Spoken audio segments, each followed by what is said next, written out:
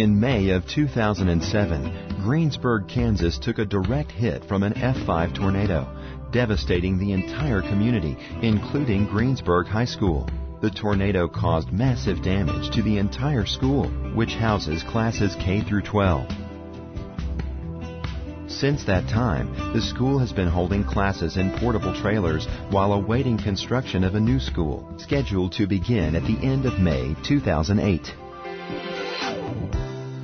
When Greensburg High School received enough funds to build a practice gym to be used not only as a gym, but as the entire school's cafeteria and town meetings place, Hibbett Sports stepped up. Hibbett held an Operation Sports Renovation Day in Greensburg, hosting a pizza lunch and supplying monetary donations, sporting goods equipment, apparel, and other supplies to help give the new facility a head start.